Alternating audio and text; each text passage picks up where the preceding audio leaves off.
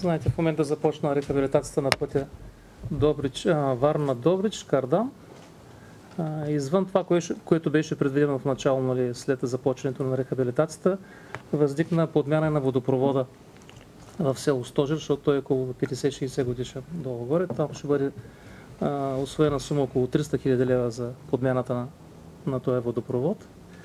Като цяло ще бъдат рехабилитирани всички околовръстни пътища и, около, и тия кръгове, които, които ги виждате нали, на Балчик, на Обена, Тошево, Крушари, където са там в него регион и на Рилци. Като цяло целият обход на Добрич ще бъде на 100% наново възстановен.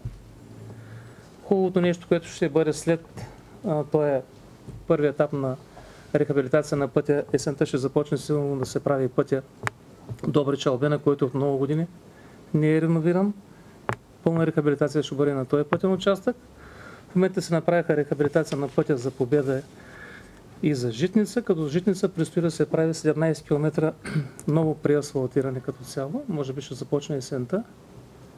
Забави се малко водният цикъл в Добрич, тъй като имаше жалене на, на конкурса за а, надзор, но мисля, че в края на месеца ще бъде направени първите копки. Нали, на, там са линейна мрежа и пречиствателна станция. В момента започна и първият етап за почистването на река Батовска. Там е разделено на, на три лота. Сега първият етап е вкаран вече в Междуведомствената комисия за оценка и ще започнат а, поч- почистванията.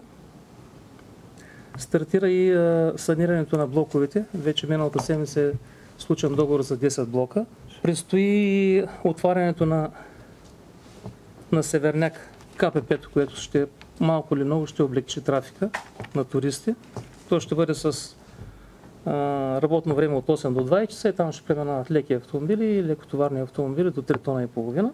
От 11 юни знаете, че и визите с украинците също са премахнати. Оттам имаме 20% по-голям ръст на, на самите туристи, които преминават нашата граница и малко са натоварени тур- КПП-то най-вече на Доран е защото там е туристическа дестинация, докато Кардам е товарния трафик там са тировите. Лошото е там, че самата граница, където се намира нали, Йовково, както я водят, там де-факто 4 министерства разполагат с като цяло, с, има собственост на 4 министерства. Външно да министерство, МРРБ, да, Трябва да финансите, да. Добре. Затова е малко по... това се ангажираме по-сложен е да, статута, да нали? работим. Да. И Просто още това е първото впечатление Разбирам на да. туристите, които Значи- влизат там. Там не предния мандат скоро. решихме бизнеса, да ви кажа като цяло на ГЕРБ, да направим туалетните на Доран Колак и на Кардам. И тъкмо заради неизясняването на тая собственост, казаха, че един вид ще се навлечем лош пиар, иначе ние бяхме събрали нали, материалите и средствата, които да ги направим тия наистина, защото това е лицето на една държава, като влизаш да няма къде да имаш, да се облегчиш. Но не Нали? забравяйте, има изпълнителна власт, Точно която така. също трябва да И върши работа. Не трябва да е... по някакъв начин не можем нали, Подтикваме да го прави. самоинициативи, защото нали, ще Ще, видим. върху- ще говорим с ти- министрите и на вътрешните работи. Така и че на- имаме предвидени така. В четвъртък на Комисия по околна среда и водите имахме среща с министра на околна среда и водите Нено Димов и с Панел Деве го коментирахме. Относно този дълг, който го има нали, община Добрич от 4 милиона и 300 хиляди, това е по санкция на ОСЕС. За депото. Да, Това е 80 корекцията, корекцията, която която е, на- да. нанесоха и непосилна за Да. Общината. 80% от тях ще Раб- бъдат Работи се по въпроса, да, работи знаете, се да в се момента, ще се направи споразумение.